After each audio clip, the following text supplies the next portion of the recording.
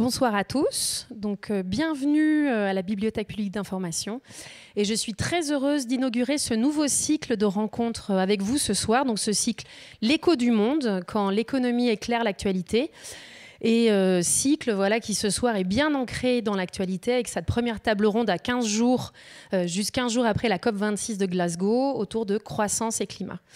Donc je remercie très chaleureusement nos quatre intervenantes ce soir, donc par ordre Dominique Méda, Valérie Masson-Delmotte, Philippe Quirion et tout particulièrement Catherine André qui va modérer ce soir, qui a accepté euh, très gentiment. Donc Catherine est, journaliste, rédactrice en chef adjointe d'Alternative économique et cofondatrice du site que je vous invite à aller consulter, Eurovox. Vox Europe, excusez-moi l'émotion. Donc c'est la toute première date d'un cycle euh, de rencontres que nous avons préparé avec Éloi Laurent. Donc Éloi Laurent, que vous devez connaître, est économiste. Il est chercheur à l'Observatoire français des conjonctures économiques, l'OFCE, légalement prof à Sciences Po et euh, à Stanford.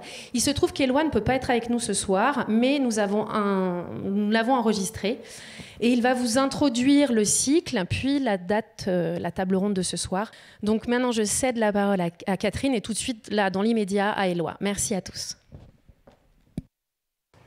Bonsoir à toutes et bonsoir à tous. Je suis Éloi Laurent, je suis économiste, euh, enseignant-chercheur à la fois en France aux États-Unis. Et j'ai le grand plaisir de vous accueillir pour ce nouveau cycle de conférences de la BPI, l'écho du monde.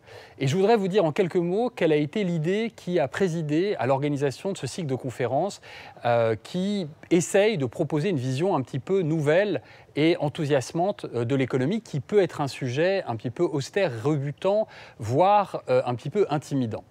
L'économie, c'est deux choses essentiellement. D'un côté, c'est un système d'organisation sociale, c'est une part des interactions humaines qui portent principalement sur les transactions marchandes, la monnaie, c'est-à-dire l'échange de biens et services qui ont un prix et qui peuvent être échangés sur les marchés.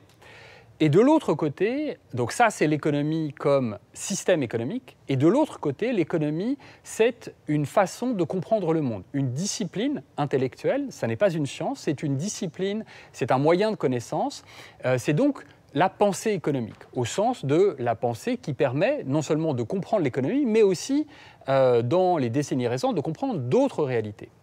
Et le paradoxe auquel nous assistons de façon euh, tout à fait euh, claire en France, c'est que l'économie, dans ces deux acceptions, est dominante. Elle est dominante dans l'organisation sociale. Il semble que les impératifs économiques s'imposent à tous les autres, par exemple aux contraintes écologiques, ce qui est évidemment un paradoxe puisque euh, on comprend d'emblée que les lois de la biophysique sont quand même beaucoup moins flexibles que les lois d'organisation des sociétés humaines. Et de l'autre côté, l'économie au sens de la pensée économique, elle-même dominée, si l'on peut dire, par une école de pensée qui est une école qui considère que l'économie est une science qui a à offrir au monde des lois universelles, à l'image de la physique et de la chimie, qui peuvent s'appliquer de manière équivalente partout, à tout instant, pour tous les groupes humains.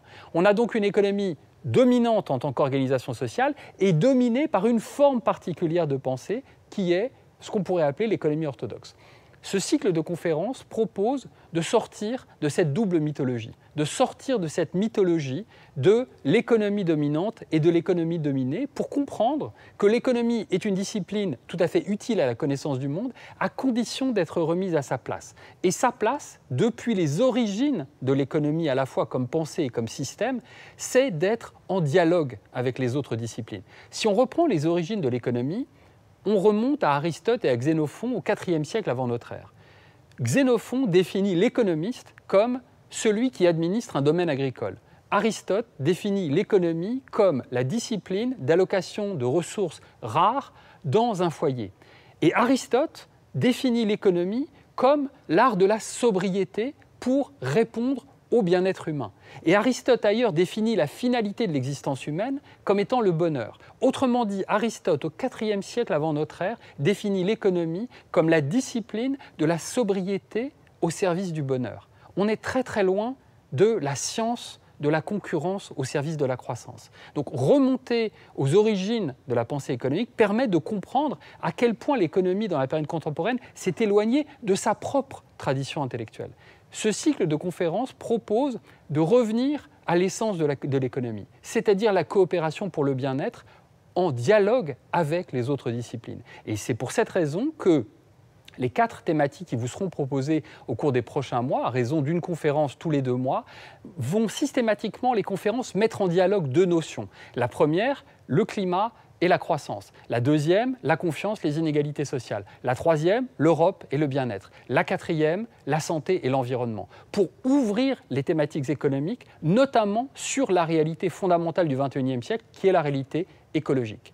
Donc il y a déjà un dialogue en termes de thématiques. Et systématiquement, ces conférences associeront des économistes, dont je suis, je ne peux pas être parmi vous, euh, mais bien entendu, j'ai euh, contribué euh, au fait qu'on puisse inviter les gens qui vont pouvoir vous éclairer ce soir sur ces thématiques. Il faut à la fois des économistes, il y en aura systématiquement, mais aussi d'autres chercheuses et d'autres chercheurs d'autres disciplines, parce que c'est comme ça que l'économie est vraiment intéressante il y a quelque chose de nouveau dans cette proposition qui est faite dans ce cycle de conférences, qui est véritablement à la fois de remettre l'économie à sa place, parce que l'économie a besoin de revenir à sa place, elle ne peut pas envahir entièrement tout le champ social, et en même temps d'ouvrir l'économie sur le monde et sur les autres disciplines.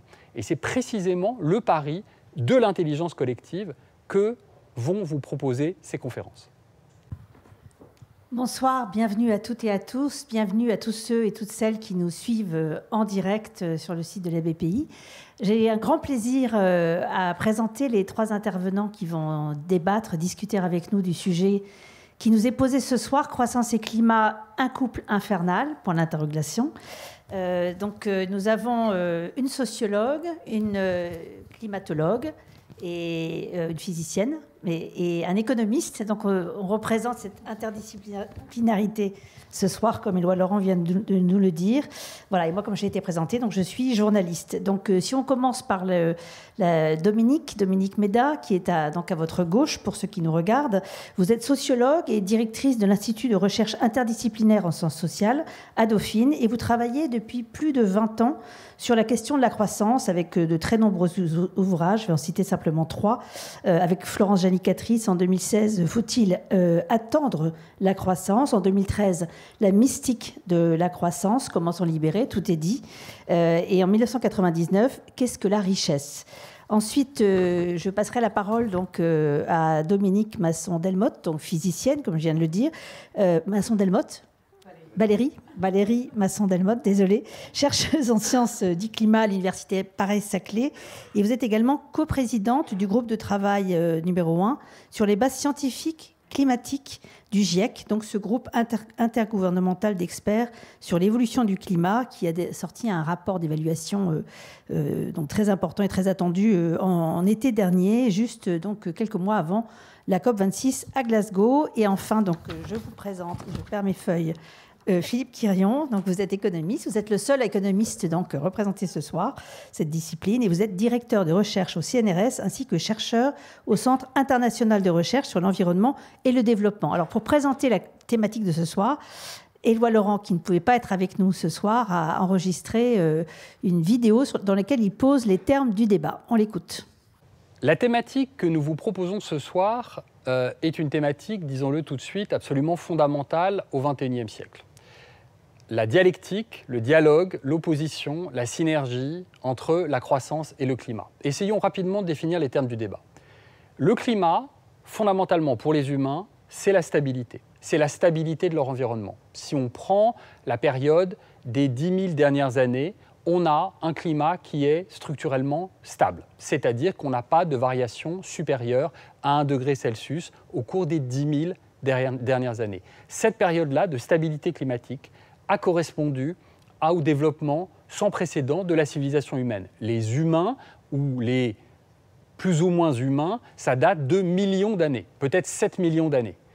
Le développement de la civilisation humaine a connu une accélération absolument phénoménale au cours des 10 000 dernières années, c'est-à-dire dans une période extrêmement courte par rapport à l'ensemble de l'histoire de l'humanité. Cette période-là est une période de stabilité climatique. Donc le climat, je dirais que c'est la stabilité structurelle de l'environnement humain. La croissance fait référence à un indicateur qui est le produit intérieur brut, qui a été inventé dans les années 30 par un économiste américain qui s'appelle Simon Kuznets et qui visait à mesurer l'effet macroéconomique systémique de ce qu'on appelle en France la crise de 29. Et en 1934, le Congrès américain demande à Simon Kuznets de construire une maquette du produit intérieur brut, c'est-à-dire une vision agrégée de l'économie, une vision de toute l'économie. Pourquoi? Parce que la crise de 29 est comprise comme une crise macroéconomique. C'est donc un indicateur macroéconomique qui va définir l'ensemble de l'économie. Qu'est-ce que c'est? C'est le flux de biens et de services échangés sur des marchés avec un prix. Voilà ce que mesure le produit intérieur brut.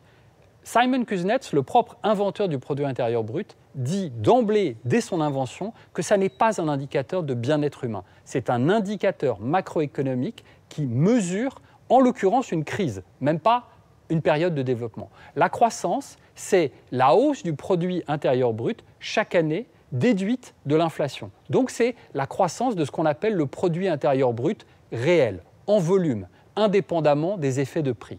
Donc voilà ce qu'est la croissance. La croissance économique, ça a un sens extrêmement précis. C'est l'augmentation en termes réels du produit intérieur brut tel qu'inventé par Simon Kuznets dans les années 30. On voit tout de suite l'opposition entre croissance et climat. La croissance, c'est un processus d'accélération qui n'a pas de fin. C'est le contraire même de la stabilité. C'est une hausse infinie et indéfinie d'une entité qui est considérée comme devant amener la prospérité aux humains, qui est le produit intérieur brut. Alors même que son inventeur a dit dès les années 30 que ça n'était pas un indicateur de bien-être.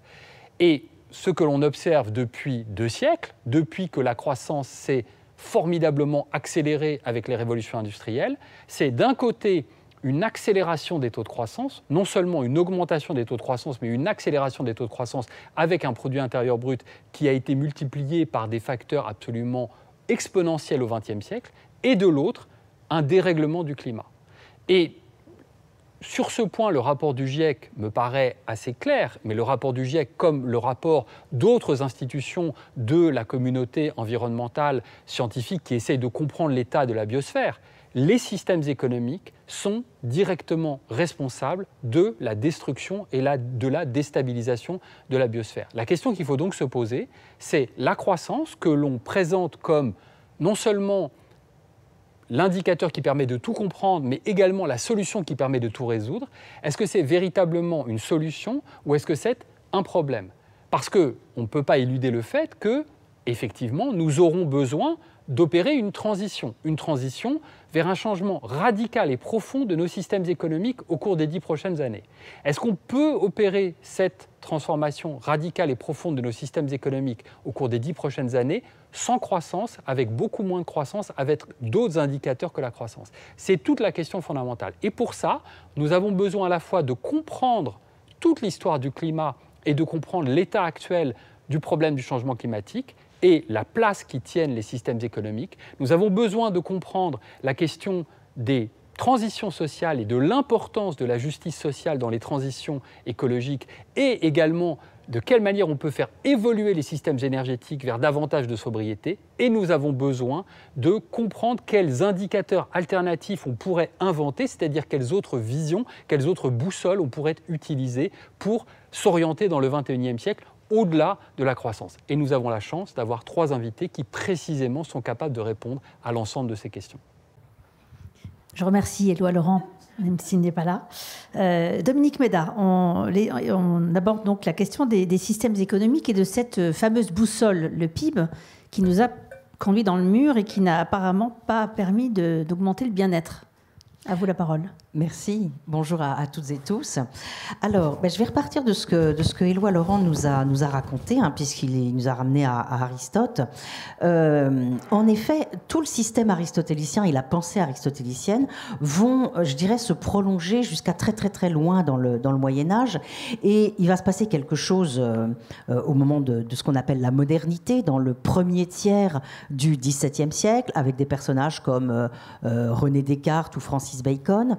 Et j'ai envie de dire que ce basculement va consister principalement en une forme de désencastrement, de désencastrement des humains de la nature. On peut dire qu'avant, euh, les, humains étaient restés relativement encastrés dans la, nature et que soudainement, il va y avoir ce basculement absolument, euh, absolument fondamental où on décide qu'il y a un sujet qui est placé face à une nature et que cette nature, elle va pouvoir être mise en coupe réglée au service des, euh, des, des, humains en quelque sorte. Donc ça, c'est le, ça, c'est le XVIIe siècle. on a mesuré, on, sait à peu près quand va commencer à frémir la, croissance. Et par exemple, un, économiste comme Angus Madison nous dit que c'est autour de 1820 qu'il va vraiment se passer quelque chose, et, ça se passe bien sûr en, enfin pas bien sûr, mais ça se passe en, Europe.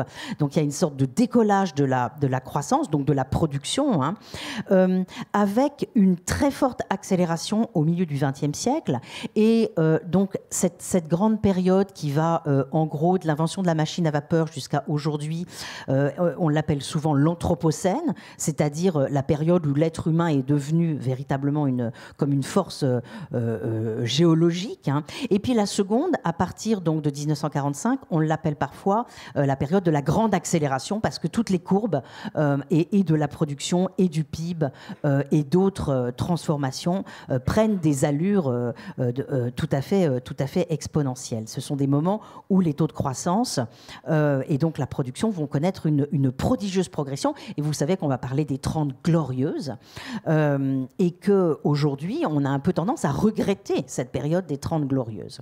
Euh, mais je dirais qu'aujourd'hui, tout se passe comme si euh, on découvrait le verso de la médaille hein, des, des, 30 glorieuses.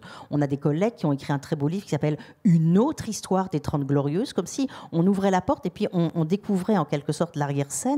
Et euh, l'arrière-scène, elle nous montre que certes, la, croissance nous a apporté beaucoup de bienfaits, des bienfaits qui ne peuvent pas être remis en cause, hein, notamment tout, ce qui concerne la lutte contre les maladies, la mortalité infantile, l'amélioration considérable des, conditions de vie. Mais euh, la croissance, finalement, elle nous a aussi apporté des, euh, mots.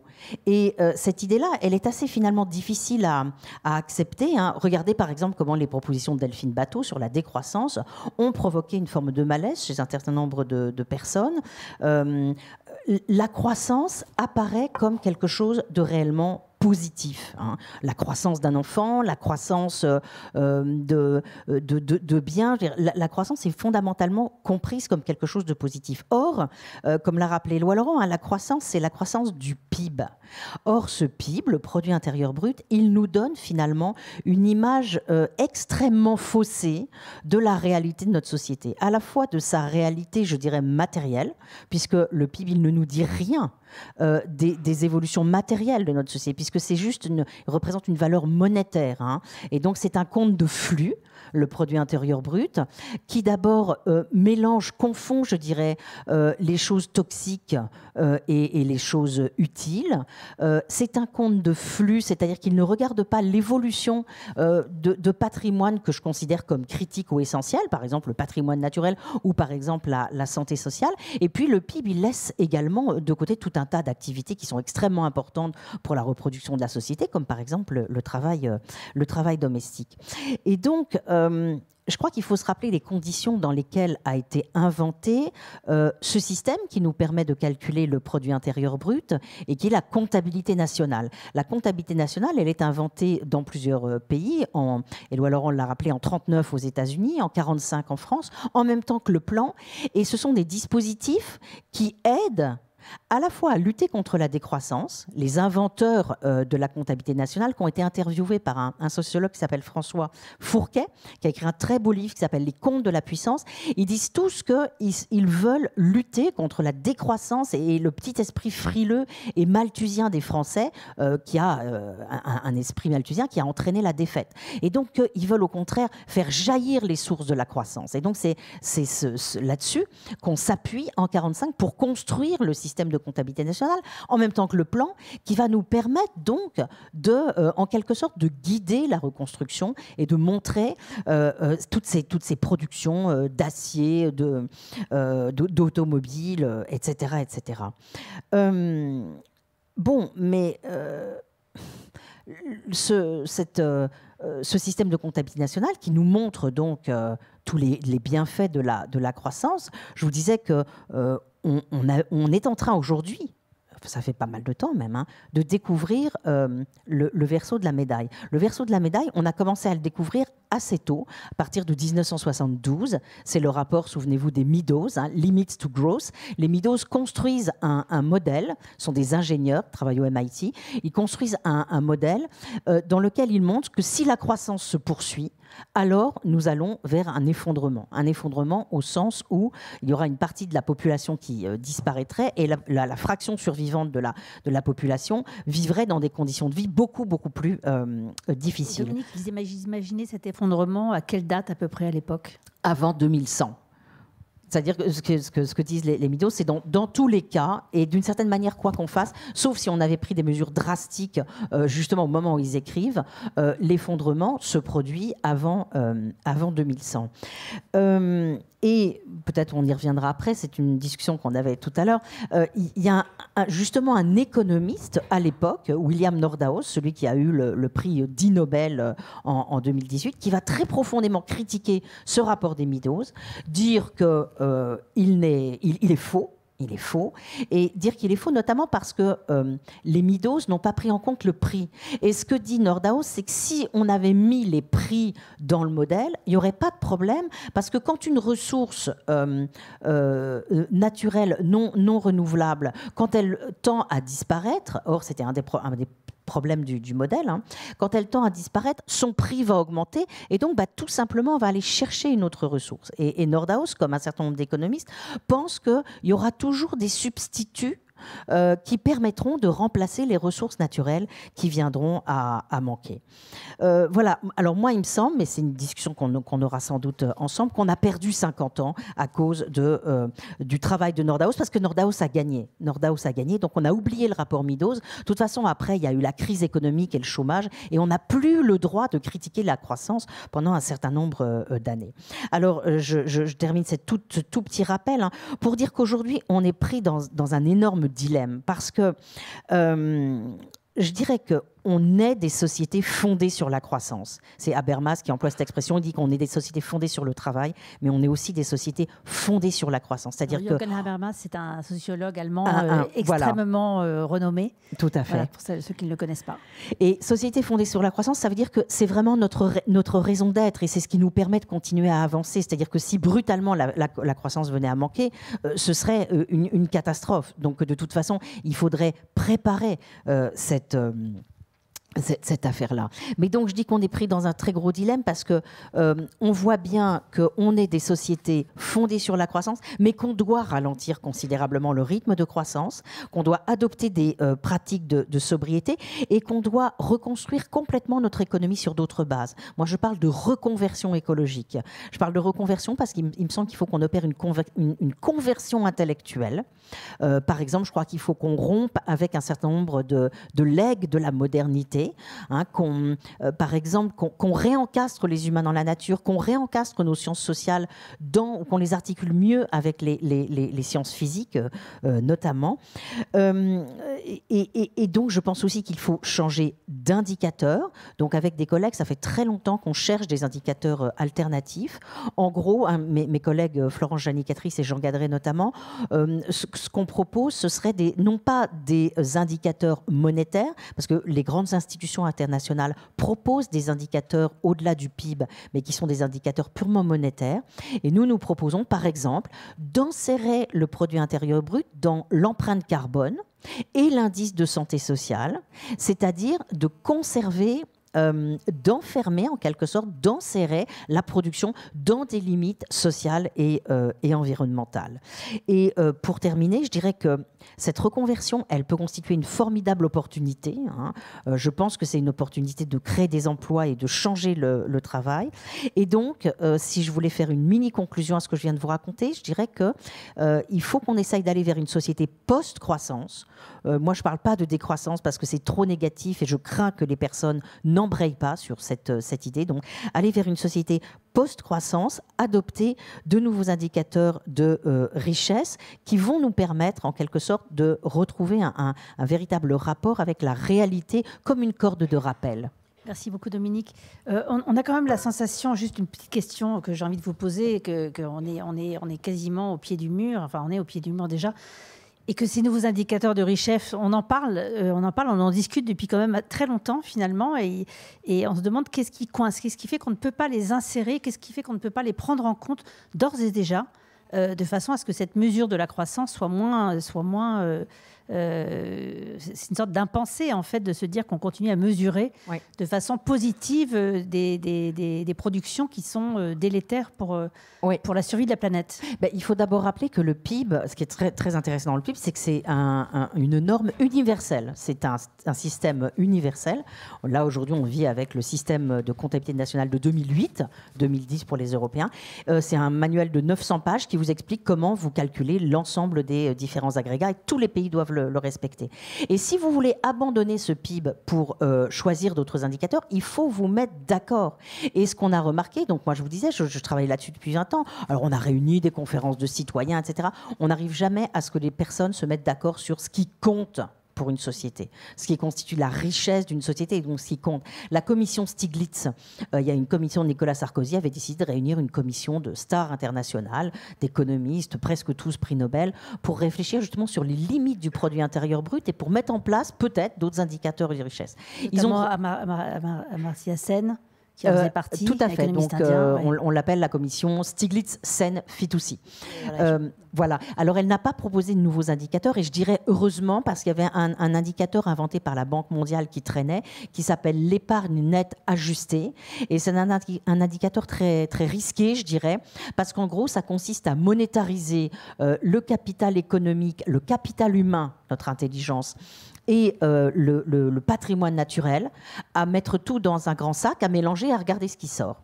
Et qu'est-ce qui est embêtant? D'abord que vous monétarisez tout, mais surtout l'idée philosophique qu'il y a derrière, c'est que si jamais euh, on est assez intelligent, c'est le génie humain, si donc notre capital humain est très très très élevé, alors on peut se payer euh, une destruction du patrimoine naturel, c'est-à-dire l'intelligence peut compenser la destruction du, patrimoine naturel, ce qui est évidemment terrible puisque ça voudrait dire que, enfin c'est encore un, aspect de notre, euh, de, notre croyance, en effet, en la, une espèce de démesure, quoi, euh, puisque ça voudrait dire qu'on peut construire un monde artificiel susceptible de nous donner finalement les mêmes doses de satisfaction que le monde, que le monde naturel. Merci beaucoup, Dominique. Euh, Valérie Masson-Delmotte, euh, alors, à quoi en est-on euh, côté climat Donc, en sortir de cette COP26 que beaucoup ont trouvé très décevante sur le plan des résultats, des engagements, mis à part peut-être quand même l'accord sino-américain qui n'était pas du tout attendu jusqu'à la dernière minute. Et, où va-t-on? Surtout aussi en termes de timing, en termes de, pas d'accélération, d'intensification du réchauffement climatique. À vous. Merci. Alors, euh, donc moi, je, précise que je suis physicienne, donc je ne vais pas parler de croissance. Je vais essentiellement parler de climat et des enjeux euh, pour euh, finalement reprendre la main.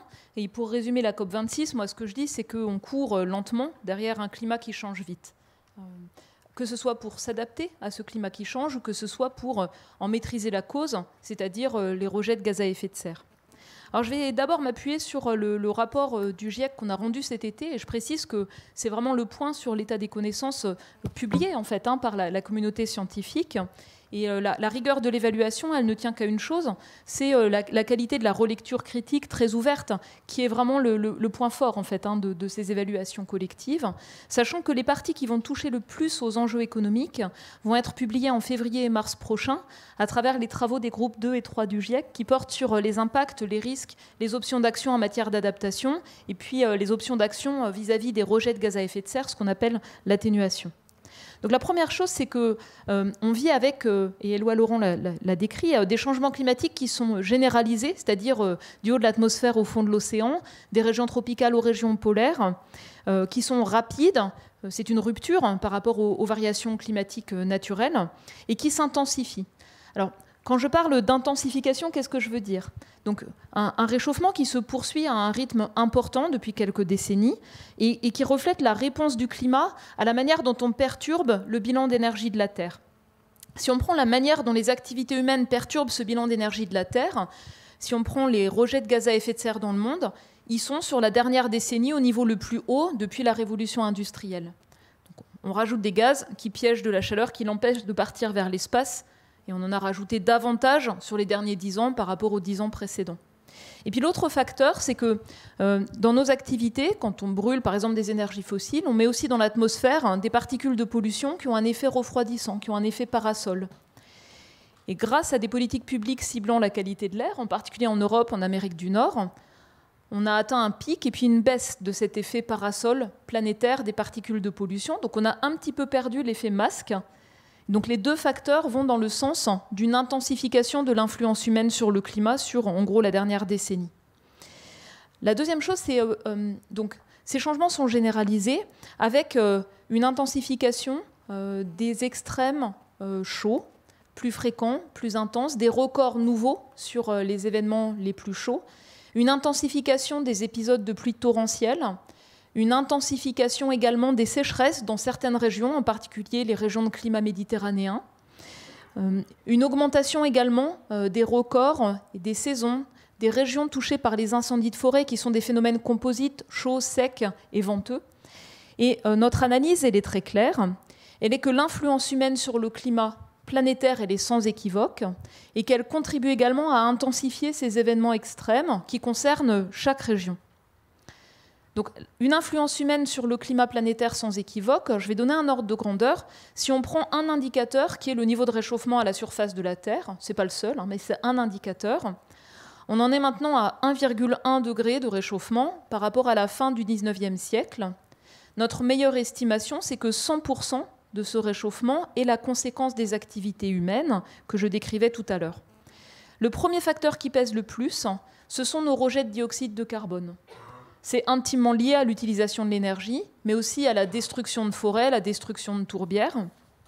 Le dioxyde de carbone, il a un rôle très particulier dans le fonctionnement du climat, il a un effet cumulatif. C'est-à-dire, ce qui va déterminer le niveau de réchauffement à venir, c'est le cumul de nos émissions dues aux activités humaines depuis la révolution industrielle jusqu'à aujourd'hui et celle à venir. Donc c'est quelque chose qu'on se transmet de génération en génération. Et euh, ça implique que si on veut parvenir à maîtriser l'évolution du climat, euh, la, condition clé, ça va être que le cumul des émissions mondiales de CO2 arrête d'augmenter. Ça veut dire que euh, les émissions nettes dues aux activités humaines pour le dioxyde de carbone deviennent zéro. On est à peu près à 40 milliards de tonnes qu'on met dans l'atmosphère chaque année. On a des baisses dans un petit groupe de pays, essentiellement en Europe, des pays développés, mais on a encore une hausse importante, récente, dans les grands pays émergents, dans les pays en développement. Le deuxième facteur qui pèse le plus, ce sont les rejets de méthane, qui est un gaz à effet de serre puissant, qui a une durée de vie, lui, courte dans l'atmosphère, et qui contribue à dégrader la qualité de l'air en favorisant la formation d'ozone en surface. C'est le deuxième facteur qui pèse le plus. Il a continué à augmenter fortement sur la dernière décennie, tiré à la hausse par les fuites dans le secteur des énergies fossiles et par, au niveau planétaire, l'augmentation de l'élevage de ruminants.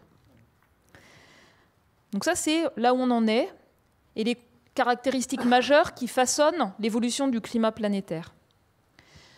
Le deuxième volet, c'est que dans chaque région du monde, on vit déjà avec de multiples caractéristiques d'un climat qui change. Des tendances de température, des tendances de précipitation qui sont contrastées selon les régions, des extrêmes qui s'intensifient, des changements multiples dans l'océan, et je vais, mettre l'accent sur l'océan parce que c'est souvent un peu absent des discussions sur l'économie, donc, dans l'océan, un océan qui s'acidifie en captant 23% de nos rejets de CO2, un océan qui se mélange moins bien, donc qui perd de l'oxygène, un océan avec des vagues de chaleur marine plus fréquentes, qui ont déjà en fait provoqué euh, des euh, dégradations des récifs de coraux tropicaux et d'autres écosystèmes, et qui provoquent aussi une baisse du potentiel de prise de pêche dans les régions tropicales. Alors pourquoi est-ce que c'est important? Parce que de nombreuses sociétés, de nombreuses activités humaines en dépendent directement ou indirectement. Donc directement pour, euh, certains leur activité économique, la pêche, le tourisme, mais aussi parfois indirectement par euh, le rôle de ces écosystèmes qui vont par exemple protéger les côtes de l'érosion lors des tempêtes ou euh, des conséquences liées à la montée du niveau des mers.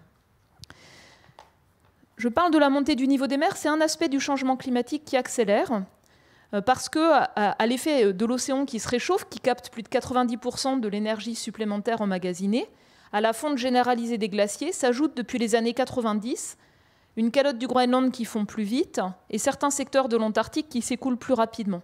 Donc le rythme de montée du niveau des mers a accéléré sur euh, les dernières décennies et ça fait partie des caractéristiques irréversibles à très long terme d'un climat qui change. Les glaciers vont mettre des décennies à s'ajuster, l'océan profond des siècles. On ne peut pas revenir en arrière sur euh, le changement climatique tel qu'il est là. Et une partie de la montée du niveau des mers à venir a déjà été définie par les émissions jusqu'à ce jour. Pour les autres aspects, le niveau de réchauffement à venir va dépendre de ce qu'on va faire pour les émissions de gaz à effet de serre à venir. Et c'est un point important, c'est-à-dire si on mettait à zéro les émissions de dioxyde de carbone demain, on estime que sur une cinquantaine d'années, il n'y aurait pas d'évolution de la température à la surface de la Terre. Donc l'inertie, ce n'est pas celle du climat, c'est peut-être le message le plus important. Qu'est-ce qui va définir l'inertie? Les infrastructures qui existent, notre capacité à les transformer, les infrastructures qu'on va mettre en place, non comportement, et ce qui va définir les émissions de gaz à effet de serre à venir. À quoi s'attendre? Nous, on explore la réponse du climat avec cinq grands scénarios très contrastés, des émissions de gaz à effet de serre en hausse ou en très forte hausse, qui stagnent, en baisse ou en très forte baisse. Les scénarios de hausse ou de très forte hausse sont maintenant moins plausibles, parce qu'il y a des politiques publiques mises en place, parce qu'il y a des ruptures technologiques qui font qu'on peut produire de l'électricité bas carbone à un prix compétitif par rapport au charbon. Et ça, c'est quelque chose qui les rend moins plausibles. Les promesses faites lors de la COP26 quelles qu'elles impliqueraient si elles étaient réalisées. Elles impliqueraient que les émissions mondiales de gaz à effet de serre, tout confondu, à horizon 2030, stagneraient à un niveau proche, soit du niveau actuel, soit du niveau, dans le meilleur des cas, d'il y a une dizaine d'années, donc plutôt une stagnation. Si on voulait que, les émissions, que le, niveau de réchauffement se stabilise, il faudrait qu'il y ait une baisse rapide et à très grande échelle. Donc vous voyez qu'aujourd'hui, on n'est pas sur cette trajectoire-là. Dans tous les cas, nous, on s'attend, quelles que soient les trajectoires d'émissions de gaz à effet de serre et de polluants, on s'attend en fait à ce que le niveau de réchauffement planétaire continue à augmenter, parce que le cumul des émissions de CO2 va continuer à augmenter, parce qu'on va enlever un peu les particules de pollution qui sont émises avec ça, même dans l'action la plus forte. Donc on s'attend à atteindre en moyenne sur 20 ans un niveau de réchauffement climatique de l'ordre d'un degré et demi sur les prochains 20 ans. Seulement s'il y a une baisse vraiment importante à grande échelle des émissions de gaz à effet de serre, alors il serait possible de stabiliser le réchauffement dans la deuxième moitié de ce siècle, largement en dessous de 2 degrés ou après l'avoir dépassé pas trop loin de 1,5 degré. Mais ça, c'est une condition, c'est euh, d'enclencher le plus rapidement possible une baisse euh, importante des rejets de gaz à effet de serre. Pourquoi est-ce que chaque fraction de réchauffement supplémentaire compte? Parce que ça va affecter des tendances, des extrêmes, des valeurs associées à des seuils de tolérance pour euh, ne serait-ce que la santé humaine, hein, des conditions très chaudes, très humides, la productivité du travail physique en extérieur, en particulier dans les régions tropicales. Mais ça va aussi euh, euh, jouer par rapport à des effets indirects, donc des risques en termes de sécurité en eau, des risques en termes de sécurité alimentaire. Ça a fait d'ailleurs l'objet d'un rapport spécial du GIEC en 2019.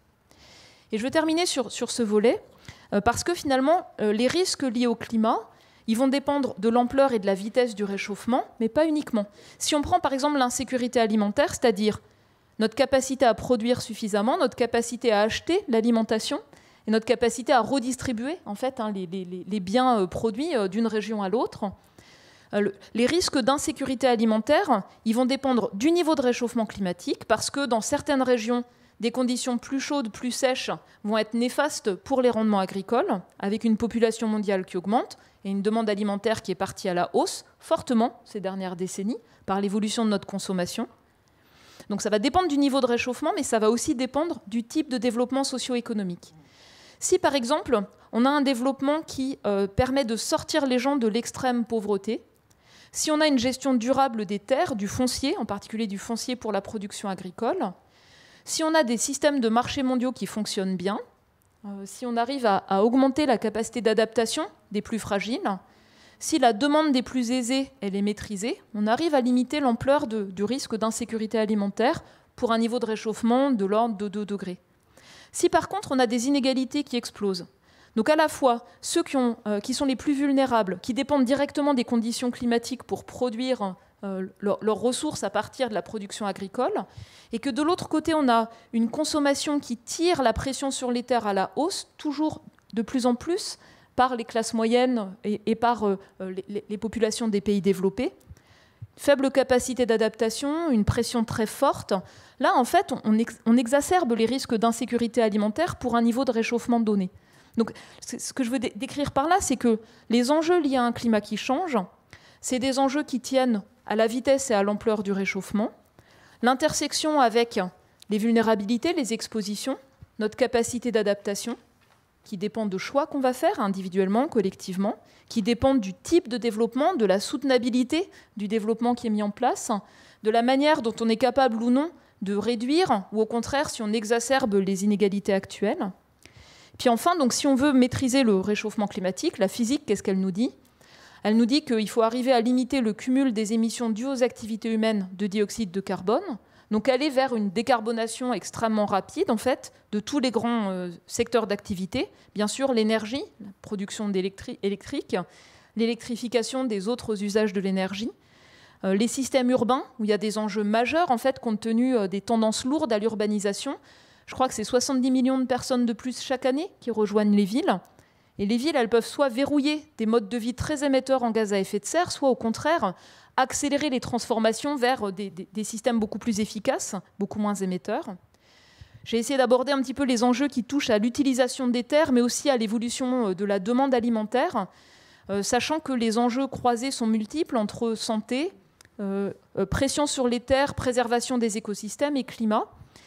pourquoi? Parce qu'on est aujourd'hui avec 800 millions de personnes qui sont qui ne mangent pas de manière à avoir un équilibre nutritionnel, 2 milliards de personnes qui souffrent de surpoids et d'obésité, avec des enjeux considérables de soutenabilité finalement euh, de, ce système euh, alimentaire mondial, puis des enjeux bien sûr sur les systèmes industriels et la réorientation des financements. Et la manière dont on aborde euh, les enjeux, disons, socio-économiques, c'est pour chaque option d'action dans chacun de ces systèmes à analyser ces intersections avec les multiples dimensions d'un développement soutenable, avec les enjeux qui touchent à l'équité et à la qualité de vie, donc analyser à chaque fois euh, les, co-bénéfices ou les effets indésirables pour esquisser finalement quels peuvent être les choix dans chaque contexte, dans chaque endroit, pour construire un développement qui soit résilient dans un climat qui change et pour construire un développement qui euh, permette le plus rapidement possible euh, de baisser très fortement les rejets de gaz à effet de serre. Et je termine en disant que ces analyses montrent que des transitions rapides et à grande échelle, elles sont facilitées si on maîtrise la demande. La demande en énergie, en particulier pour ceux qui euh, ont la demande la plus élevée, la demande en matériaux non renouvelables et la demande alimentaire en pression, en particulier euh, pour les protéines animales, là on en mange trop. Et ce sont les trois conditions qui permettent en fait de transformer plus rapidement les systèmes de production et de réduire le plus rapidement les rejets de gaz à effet de serre. Merci beaucoup, Valérie. Euh, ça, pose tout de même la question justement de la prise de décision économique.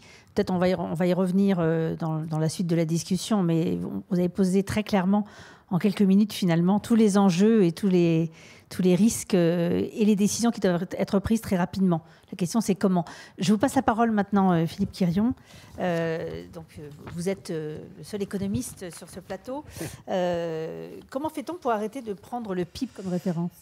Alors, euh, donc, comme l'ont dit euh, Dominique euh, et Éloi Laurent, quand on parle de croissance, donc c'est croissance du produit intérieur brut, même si souvent le terme est utilisé sans, cette précision. Alors moi, mon, message là-dessus d'abord, il est simple, c'est qu'il faut arrêter de prendre le, PIB comme un objectif, que ce soit à la hausse ou à la baisse.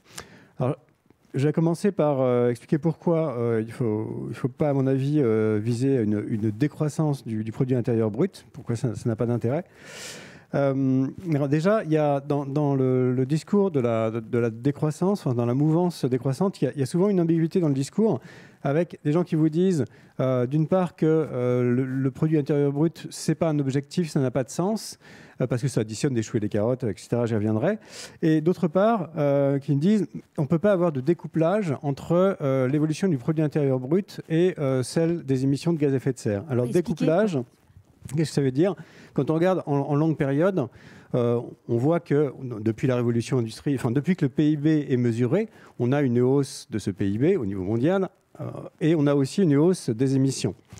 Euh, et, donc, beaucoup de gens vous disent, on ne peut pas avoir de baisse des, des, émissions de gaz à effet de serre si on n'a pas en même temps une baisse du produit intérieur brut.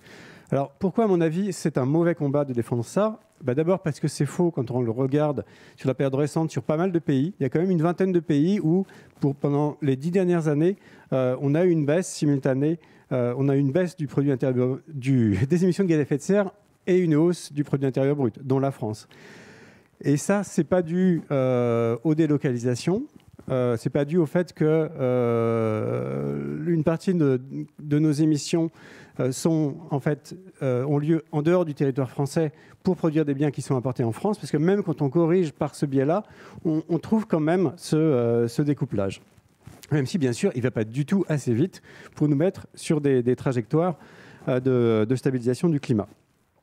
Et ensuite, si on veut pousser le raisonnement jusqu'au bout, euh, comme Valérie l'a dit, euh, si on veut stabiliser le climat, il faut avoir des émissions nettes de gaz à effet de serre nulles ou négatives. Si on n'a pas de découplage, ça veut dire qu'il faut arriver à un produit intérieur brut nul. Alors, ce n'est pas complètement impossible, mais ça veut dire qu'il faut plus d'échanges marchands et qu'il faut plus non plus de secteur public. Parce que PIB, dans le PIB, il y a le PIB marchand, dont parlait Éloi Laurent, mais il y a aussi le PIB non marchand. Hein. Tout ce qui est service public, ça rentre dans le PIB. Alors on peut imaginer une société sans échange marchand et sans État, c'est un peu le communisme au sens de, Marx. Je ne dis pas du tout que c'est impossible, mais enfin, ça va être dur d'y arriver dans le délai euh, nécessaire avec la stabilisation du climat à euh, 2 degrés, euh, fortiori 1 degré 5. Alors, ceci étant dit, bien sûr, il faut aller vers une décroissance de la consommation de ressources, de la consommation des, des biens les plus polluants, ça oui. Mais ça, c'est un objectif en soi qu'il faut formuler de cette manière, et rajouter le PIB dans le raisonnement, ça, ça apporte que de la confusion à mon avis. Alors ensuite, pourquoi est-ce qu'il ne faut pas prendre non plus euh, la croissance du PIB comme un objectif en positif? Comme l'a dit euh, Simon Kuznets, comme le rappelait Éloi Laurent, le, fondateur du PIB, c'est un mauvais indicateur de bien-être, surtout à long terme. Alors j'apportais un, un, autre argument par rapport à ce qui a déjà été dit, c'est qu'on mesure de plus en plus mal l'évolution du produit intérieur brut en termes réels, c'est-à-dire une fois qu'on a déduit l'inflation. Et c'est ça dont, on parle, euh, c'est ça qui est intéressant. Il faut bien voir que pour calculer euh, la, croissance, entre guillemets, c'est la croissance du, PIB une fois qu'on a déduit l'inflation, mais euh, les statisticiens, d'abord, ils observent le PIB sans déduire l'inflation et ensuite ils enlèvent l'inflation. Alors, c'était relativement simple quand dans le PIB, une grande part, c'était des choses assez homogènes, de l'acier, du blé. Bon. Mais c'est de moins en moins le cas. Si vous prenez par exemple un smartphone, euh, vous vous dites euh, comment évoluer le prix d'un smartphone? Bah, Vous avez une, difficulté évidente, c'est que la qualité euh, change au cours du temps. Alors ça, ça doit être pris en compte dans le PIB. C'est expliqué que dans les 900 pages dont parlait Dominique, dans, les manuels pour les comptables nationaux. Sauf que c'est plus facile à dire qu'à faire. Imaginez, vous voulez savoir de combien a évolué le prix des smartphones depuis 30 ans. À quoi vous comparez le smartphone? Un téléphone d'il y a 30 ans ou bien un téléphone plus chacun des objets dont la fonction est aujourd'hui remplacée par un smartphone, depuis la caméra jusqu'à l'agenda, etc. Vous imaginez bien que si vous faites un choix ou l'autre, vous aurez un résultat qui est totalement différent. Donc l'évolution du PIB à long terme, on a et on aura de plus en plus de mal à, euh, la mesurer. Je reviens sur la question du smartphone. Si on pousse le raisonnement, c'est quoi l'important dans le, smartphone? Pourquoi les jeunes par exemple, euh, veulent un smartphone? Ben, C'est pour être en lien avec leurs amis. C'est le lien social. Et évidemment, avoir un smartphone, ça n'a aucun intérêt si vous êtes le seul sur la planète à avoir un smartphone. Enfin, pas beaucoup d'intérêt. Ça d'autant. Mais si vous êtes le seul à pas avoir de smartphone, euh, vous vous sentez vite exclu. Donc là, on voit bien que partir d'un raisonnement sur comment on mesure le PIB, pour le mesurer, j'ai besoin de mesurer la qualité. Mais pour mesurer la qualité sur ce type d'objet, j'ai besoin de me poser la question des interactions sociales. Et finalement, ça, c'est compliqué à quantifier, mais c'est extrêmement important. Et c'est là-dessus que je veux en venir. Plutôt que de se focaliser sur le PIB en positif ou en négatif, il faut se focaliser sur les choses importantes, à commencer par les interactions sociales et la santé. Alors, sur la santé, par exemple, on voit que le PIB est un mauvais indicateur de bien-être parce que vous comparez les États-Unis et l'Espagne. L'Espagne, le PIB par habitant est inférieur d'un tiers aux États-Unis, mais l'espérance de vie est supérieure de 5 ans. Pourquoi? Parce qu'ils ont un meilleur système de santé, c'est pas dur. Ils ont moins d'inégalités, c'est pas dur. Ils, ont, ils, bougent plus, euh, c'est pas dur. Et puis ils ont une meilleure alimentation, c'est pas dur non plus. Euh, et qu'est-ce qui est le plus important? C'est d'avoir un tiers de PIB en plus ou c'est d'avoir 5 ans d'espérance de vie en plus? Bon, chacun jugera, mais euh, moi j'ai fait mon choix. Alors, évidemment, une fois qu'on a dit ça, c'est très compliqué de, vouloir. Euh, c'est compliqué, évidemment, de vouloir mesurer tout ça et d'en chercher toutes les implications. Alors, je, vais me focaliser sur ce sur quoi je travaille le plus, c'est-à-dire les, euh, les, questions d'énergie, énergie-climat. Et qu'est-ce que l'on dire comme implication là-dessus, sur le, débat relatif en particulier au scénario énergie-climat, c'est que ça nous renvoie euh, à la question de la sobriété énergétique. Alors, qu'est-ce que j'entends par là? On peut, euh, il y a différentes manières de, faire, de diminuer la consommation d'énergie. Il y en a une qui est assez simple à définir, c'est l'efficacité énergétique, c'est-à-dire arriver à euh, consommer moins d'énergie pour fournir le même service. Donc par exemple, si vous avez une voiture qui consomme moins alors qu'elle est identique à une autre voiture, c'est une meilleure efficacité. Donc si par exemple vous remplacez une voiture à moteur thermique par une voiture à moteur électrique, vous avez euh, doublez euh, à peu près euh, l'efficacité. Parce que vous avez moins de pertes, puisque avec votre moteur thermique, la plus grande partie de l'énergie, en fait, c'est de la chaleur qui part pour réchauffer les petits oiseaux plutôt que de faire avancer la voiture. Bon, mais l'efficacité, il n'y a pas que ça. Vous, pouvez aussi, si vous remplacez la voiture par une absence de déplacement, parce que vous allez moins loin, parce que vous faites du télétravail par exemple. C'est autre chose. Si vous remplacez euh, la voiture par du vélo, vous consommez beaucoup moins d'énergie aussi. Alors ça, on voit bien que ce n'est pas de l'efficacité. Il y a différents vocabulaires qui peuvent être utilisés pour désigner ça. Euh, moi, parmi d'autres au sein de l'association de Négawatt, on appelle ça la sobriété énergétique, qui est un terme qui parfois fait, euh, bondir. mais on peut aimer ou pas le terme, c'est celui qui a tendance à se, diffuser le plus. Euh, moi, je, trouve qu'il est, bon, mais on peut, en discuter. Euh, mais en tout cas, ce qui est sûr, c'est qu'on ne peut pas faire abstraction de ça. On ne peut pas euh, arriver à une trajectoire de stabilisation des émissions de gaz à effet de serre uniquement en passant à des énergies moins carbonées et à de l'efficacité. Je prendrai deux exemples. On a, ça ne suffit pas pour réduire les émissions de méthane des ruminants. Pour ça, il faut manger moins de viande. Euh, euh, et, deuxièmement, sur le transport aérien longue distance, on n'a pas de solution technique à, moyen terme. il faut moins voyager en avion euh, à longue distance. Et ça, ce sont deux exemples, mais il y en aurait d'autres, pour lesquels on a besoin de cette sobriété, en plus de l'efficacité, en plus de recourir à des moyens, à des sources d'énergie moins carbonées ou décarbonées. Alors, J'en reviens euh, pour finir à cette question de sobriété énergétique, parce qu'en ce moment, on est dans une période où beaucoup de scénarios euh, énergie-climat sont sortis en France. Le réseau de transport de l'électricité a, sorti des scénarios le 25 octobre. La fameuse RTE. RTE, oui. L'ADEME, euh, l'Agence pour la transition énergétique, sort les siens demain matin.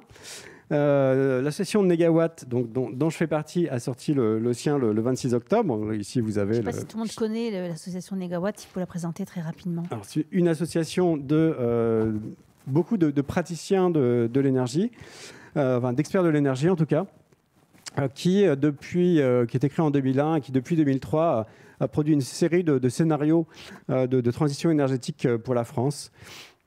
Euh, qui permettent, euh, entre autres, de, stabiliser le climat, mais, pas seulement. Enfin, qui permettraient s'ils étaient euh, appliqués, bien sûr. Alors, sur cette question des, débats sur les, scénarios de transition énergétique en France, on entend beaucoup de gens s'écharper sur la question est-ce qu'il faut uniquement des renouvelables ou est-ce qu'il faut des, renouvelables plus du nucléaire? Parce que quand on regarde dans les scénarios, en fait, euh, on peut, ne peut pas se passer, RTE l'a dit, d'avoir au moins la moitié de, renouvelables dans la production d'électricité, mais c'est loin d'être l'ensemble du débat. Et en particulier, il y a euh, tout un débat sur le niveau de la consommation d'énergie euh, nécessaire et, en particulier sur le niveau de sobriété énergétique souhaitable et nécessaire ou nécessaire. Et, et, en fait, c'est plus difficile de faire l'analyse économique de ces questions de sobriété, mais c'est plus important à mon, humble avis. Je vais prendre un exemple. Sur le dernier scénario Négawatt, j'ai essayé avec des collègues euh, qui sont en santé publique de quantifier le bénéfice pour la santé du développement de la marche et du vélo dans ce scénario. Alors pourquoi c'est un bénéfice pour la santé? Bah, On a évolué en tant qu'espèce euh, en marchant et en courant toute la journée. Aujourd'hui, notre mode de vie, c'est de rester assis la plupart du temps. Ça, c'est une, violence extrême qu'on inflige à notre corps et ça a des, conséquences euh, très importantes et très négatives sur la santé, cette sédentarité. Donc, on peut toujours dire aux gens de faire du sport. Ils vont dire oui, et puis ils n'ont pas le temps, ils n'ont pas envie, ils ne vont pas le faire. Par contre, si dans leur déplacement au quotidien, ils marchent, ils font du vélo plutôt que de prendre leur voiture, évidemment, ça fait une réduction des émissions de gaz à effet de serre, mais ça fait aussi euh, une réduction de la sédentarité, un, développement de, euh, un bénéfice pour la santé. Et quand on le quantifie, c'est énorme. C'est euh, à peu près 10 000 décès évités par an, donc à peu près trois fois les, décès dans les accidents de la route, pour donner un ordre de grandeur. C'est à peu près trois mois d'espérance de vie, pour le traduire autrement. Et si on traduit ça en termes monétaires, en appliquant ce qu'on appelle la valeur statistique de la vie humaine, qui est recommandée dans le calcul socio-économique public, dont on pourra discuter, mais disons que c'est la valeur que la société accorde à un décès évité, c'est de l'ordre de 20 ou 30 milliards d'euros par an. Et ça, c'est beaucoup plus que la différence de coût entre deux scénarios énergétiques, tels ceux qui, sont, euh, qui ont été publiés par, euh, par RTE. Il y aurait d'autres implications de la sobriété dont on pourrait parler. Par exemple, le fait d'avoir des villes où, ce qu'on appelle la ville du quart d'heure, c'est-à-dire une ville dans laquelle on a accès à la plupart des services à un quart d'heure à pied, plutôt que d'avoir des villes où il faut prendre sa voiture pour aller euh, chercher du pain à la pharmacie, etc. Mais euh, là, je vais m'arrêter pour l'instant. Merci beaucoup, euh, Philippe. Euh, se pose donc un certain nombre de questions, j'ai envie de dire pratiques, concrètes. On a beaucoup évoqué le, terme de sobriété. Comment passe-t-on à cette sobriété?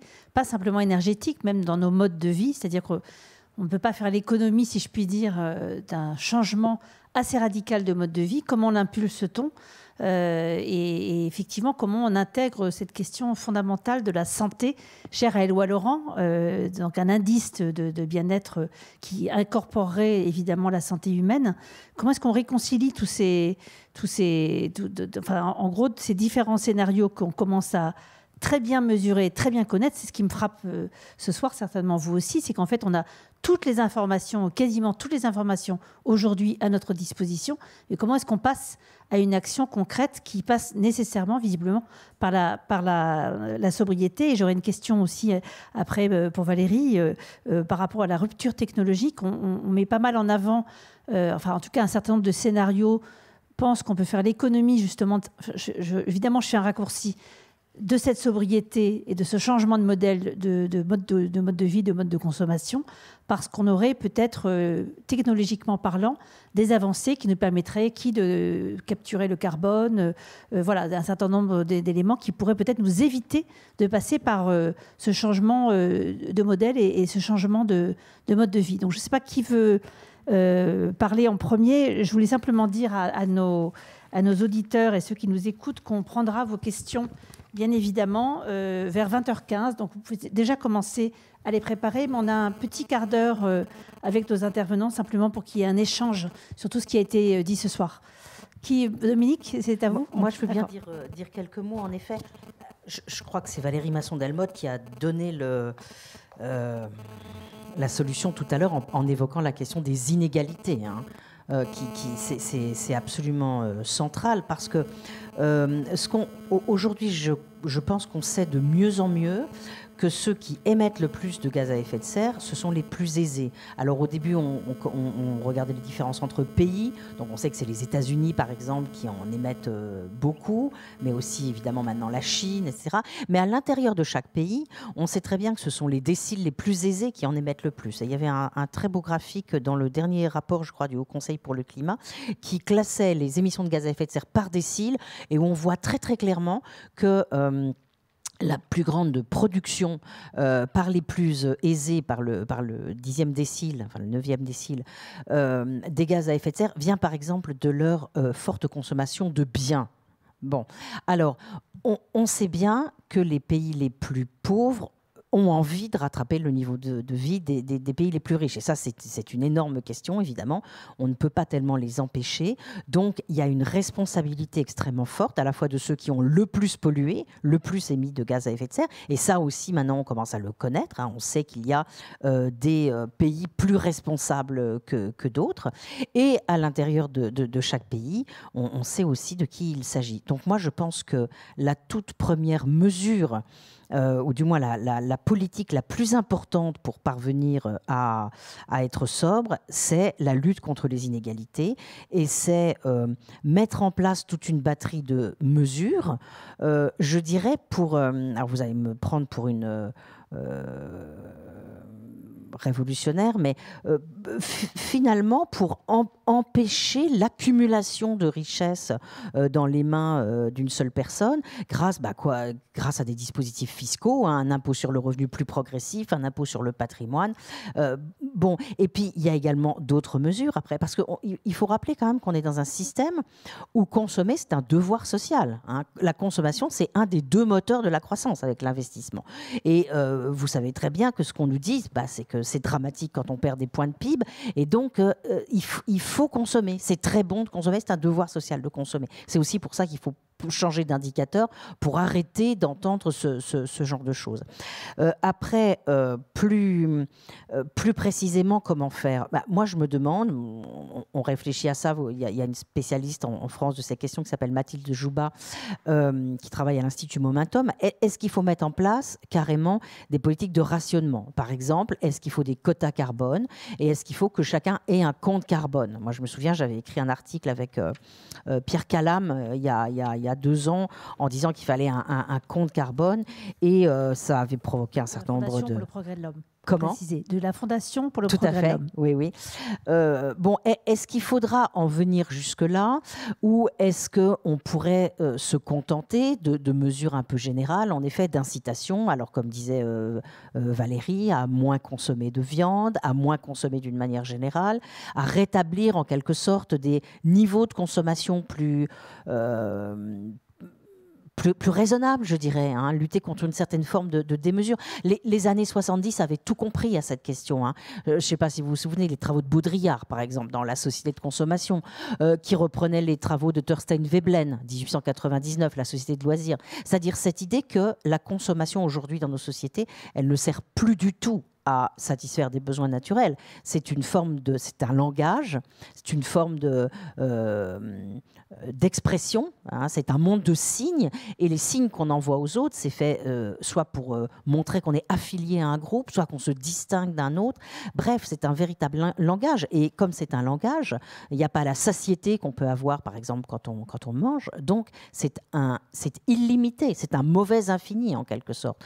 Donc voilà, je pense que l'outil principal pour moi, c'est la lutte contre les inégalités et des politiques qui ramènent quand même euh, nos, euh, la, satisfaction, enfin, qui ramènent nos, je dirais, nos, pratiques de consommation euh, dans, dans, des limites euh, beaucoup plus raisonnables. Alors avant, on avait des, philosophies qui nous aidaient à ça. Hein. La philosophie grecque qui est un plaidoyer pour la modération, pour la mesure, pour la limite. et puis évidemment, les religions aussi sont souvent une aide. Mais nous sommes sortis de tout ça. Et je reboucle avec ce que je disais tout à l'heure. Hein. Il y a eu un moment de basculement à partir du XVIIe et XVIIIe siècle où alors qu'au contraire, euh, alors qu'auparavant, la modération, la limite, la mesure étaient des valeurs, euh, on a complètement changé de cadre cognitif. Et, donc, il faut, y compris qu'on se repose des questions philosophiques euh, qui sont reposées aujourd'hui. Hein. de quoi avons-nous besoin? Il y a un, bouquin qui vient d'être sorti par les économistes atterrés, qui est intitulé de cette manière De quoi avons-nous besoin? Donc voilà, il faut qu'on se repose des questions fondamentales. Merci beaucoup. Effectivement, tant la philosophie que la sociologie euh, il y a des apports euh, considérables sur la réflexion de notre mode de vie, et notamment par rapport à la consommation. Et on est, comment est-ce qu'on sort de l'ubris? La consommation, il suffit de sortir, euh, simplement venir jusqu'ici. On, a un appel à l'hyperconsommation à quelques semaines de Noël qui, qui, est sur tous les panneaux publicitaires. On peut pardon? Plus le Black Friday, on peut absolument pas l'éviter, comme si c'était effectivement une surcompensation pour, pour d'autres choses. Alors, peut-être on pourrait penser qu'on s'éloigne du sujet. Je ne suis pas absolument sûre qu'on s'en éloigne. Je ne suis pas non plus sûre qu'on ait les réponses, puisque la question, c'est qu'est-ce qu'il faut faire pour basculer dans un mode, encore une fois, de, je dirais, de, non pas d'anticonsommation, mais en tout cas de, repasser à la raison et, retrouver d'autres moyens euh, d'espérer. Valérie, je vous passe la, parole. Alors moi, ce qui m'a frappé aussi parfois, c'est dans une vision plus euh, économique des enjeux liés au climat, euh, le fait de chercher, par exemple, à comparer d'un côté le coût de l'action pour réduire les émissions de gaz à effet de serre au coût de l'inaction d'une manière parfois un peu simpliste. Et quand je regarde les travaux des, économistes qui s'intéressent à la question des pertes et dommages, qui sont déjà là en fait, hein, dans, un climat qui change, qui essaient d'évaluer le coût de l'adaptation, qui essaient d'évaluer ce qu'impliquerait euh, la perte d'écosystèmes, et puis qui se rendent compte aussi que certains aspects sont difficiles à chiffrer purement économiquement. Par exemple, euh, les pertes de patrimoine culturel, tout ce qui est immatériel euh, et qui euh, nous touche dans un climat qui se réchauffe. Donc je me, pose la question finalement de plutôt que de parler de coûts, de réfléchir vraiment à des investissements, à des investissements avec un temps de retour long, avec de multiples bénéfices. On a parlé des enjeux santé, on a parlé des enjeux euh, euh, qualité de l'air, on a parlé d'approches qui demandent d'aborder les choses en dehors des silos habituels entre les ministères, en fait, hein, de manière vraiment transverse. Mais je ne suis pas sûre qu'il y ait aujourd'hui des outils de, prise de décision qui soient suffisants pour cela. Euh, à travers les, travaux que j'ai faits pour le Haut Conseil pour le climat, ce dont je me suis rendu compte, moi par exemple, un physicienne, c'est que finalement il y a une vraie difficulté d'implémentation, de mise en œuvre. Par exemple, euh, quand on a un projet de loi, c'est encore très difficile aujourd'hui d'évaluer s'il est neutre pour le climat ou s'il a un effet pervers, négatif, indirect, ou bien si au contraire, s'il a des effets positifs, est-ce que c'est la hauteur de ce qu'on attend?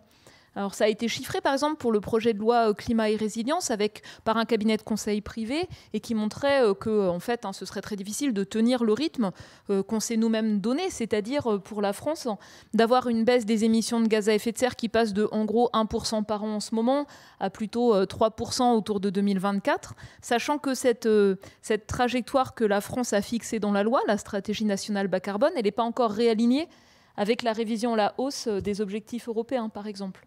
Et donc, pour moi, c'est vraiment une question de gouvernance, c'est-à-dire d'implémentation, d'avoir des outils même très pratiques, très concrets, pour arriver à chiffrer chaque décision, pour avoir un budget à l'échelle d'une ville, à l'échelle d'une région, euh, qui permettent en fait euh, d'évaluer si euh, la distribution budgétaire, elle permettra de tenir les objectifs de baisse d'émissions de gaz à effet de serre. Donc ça, c'est juste sur ce volet-là. L'autre volet, c'est celui de l'adaptation à un climat qui change. Et euh, ce qu'on voit dans le monde partout, c'est que, euh, en fait, on réagit à ce qu'on a déjà connu. C'est-à-dire, il y a un événement extrême, on va essayer de se préparer pour avoir moins de conséquences si le même événement revient. Euh, par exemple, une vague de chaleur ou bien un épisode de pluie torrentielle ou bien une submersion côtière. Mais on a une vraie difficulté à changer l'approche et se dire, voilà, à chaque endroit, pour chaque décision, on va faire face à un bouquet de changements qui, vont se produire en fait dans la même région en même temps dans les prochains 20 à 30 ans, qui vont être inévitables. Et comment on fait pour, quand on prend nos décisions aujourd'hui, qu'elles nous permettent d'être plus résilients, c'est-à-dire qu'elles nous préparent pour euh, euh, bah, justement euh, les, les, caractéristiques d'un climat qui va continuer à changer, par exemple assurer le confort d'été, par exemple gérer le mieux possible l'écoulement de l'eau, et donc, ça permet aussi de s'interroger, par exemple, sur les trames vertes, les trames bleues dans les villes, qui ont une valeur toute particulière, euh, qui écrètent les vagues de chaleur, qui font tampon en cas d'inondation, euh, mais qui sont un peu les parents pauvres des, outils habituels de prise de décision. Et je, continue sur la partie utilisation des terres. Vous aviez posé la question, par exemple, de solutions qui nous permettraient de ne rien changer en pensant qu'on pourra capter du carbone par ailleurs. Alors vous l'avez peut-être vu, c'est quelque chose, c'est un argument marketing colossal. Vu le nombre d'endroits où on vous propose de planter des arbres, c'est que ça touche en fait quelque chose dans notre état d'esprit qui nous permet de nous donner bonne conscience en ne changeant rien. Donc ce qu'on montre très clairement, c'est que par exemple sur l'utilisation des terres, Aujourd'hui, en fait, on a une destruction d'écosystèmes euh, par rapport à l'augmentation des zones cultivées, essentiellement pour nourrir les animaux et puis nourrir les gens. Et euh, il y a une limite à ce qu'on peut faire. Et donc des pratiques qui viseraient par exemple à ajouter des monocultures en plus pour produire de la biomasse pour l'énergie ou pour stocker du carbone, par exemple en mettant des arbres là où il n'y en avait pas avant, donc à la place de zones qui étaient précédemment cultivées. Là tout de suite on va toucher à des limites euh, qui sont tout à fait concrètes sur les terres qui sont disponibles. Et vous savez comme moi que si une pression supplémentaire s'exerce de la part des pays les plus riches, les zones fragiles, c'est là où il y a des droits fonciers fragiles pour les peuples autochtones, pour certaines femmes qui n'ont pas de droits fonciers, dans des pays du Sud, où les rendements agricoles sont très élevés par rapport simplement aux conditions climatiques. Et donc ça, pose des, enjeux, à mon sens, qui sont considérables d'arriver à, maîtriser cette pression sur les terres et de ne pas avoir cette illusion qu'on euh, pourra trouver euh, en accaparant des terres ailleurs des, solutions permettant de contrebalancer notre inaction pour nos émissions de gaz à effet de serre ici. J'étais à la COP26, je partageais un, un logement, c'était tellement hors de prix qu'on était six dans le logement qu'on partageait avec une collègue qui est climatologue suisse et qui elle-même avait découvert euh, quasiment en temps réel que le, projet de la Suisse, donc un des pays les plus riches du monde hein, par habitant, euh, c'était euh, de compenser une partie de leurs émissions justement par une action visant à acheter des crédits carbone ailleurs. et, elle était elle-même horrifiée de ce que ça pouvait impliquer comme, comment dire, comme risque d'accaparement de terres dans d'autres régions du monde. Euh, sachant qu'en plus, euh, la capacité des écosystèmes à stocker du carbone, elle est contrainte par euh, le stress thermique, le stress en eau, les nutriments disponibles.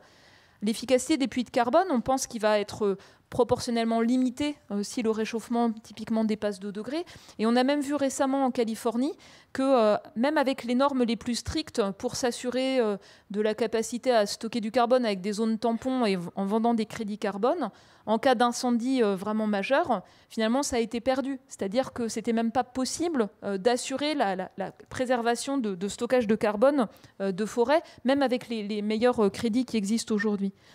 Donc je ne dis pas qu'il ne faut pas stocker du carbone, ça peut faire partie d'une partie des solutions, mais ça demande à être encadré de manière stricte, je pense, hein, sur des terres marginales, dans des gestions intégrées de paysages, de préférence chez soi et pas ailleurs, à mon sens. Hein. Euh, c'est compliqué à mettre en œuvre. Et puis, euh, il y a des solutions, bien sûr, de captage et de stockage de CO2 qui vont être indispensables dans certains secteurs euh, industriels très difficiles à décarboner. Et là, ça pose la question des conditions économiques qui vont le rendre plausible. Sachant que ça entraîne un surcoût. Et donc, s'il n'y a pas une fiscalité sur le carbone, ça a peu de chances de se déployer. Euh, voilà, et donc euh, ça pose aussi la question du fonctionnement économique, où finalement c'est un peu le, ce qu'on n'a pas mentionné dans l'ensemble de cette euh, discussion, c'est que quand on, émet des gaz à effet de serre, en fait, on ne paye pas pour les conséquences de ces émissions. et donc ça pose vraiment une question de fond sur, sur le fonctionnement économique, où on n'est pas responsable finalement, même économiquement, des, des, conséquences néfastes des émissions associées à l'usage, l'achat d'un produit, l'usage d'un produit, etc. Merci beaucoup pour les liens que vous établissez en fait euh, entre, euh, cette inaction et, soi-disant les moyens de compenser euh, la poursuite d'un certain mode de vie. Et vous parliez des incendies, effectivement, ce qui consiste à dire on peut continuer à prendre l'avion et on plante des arbres en même temps.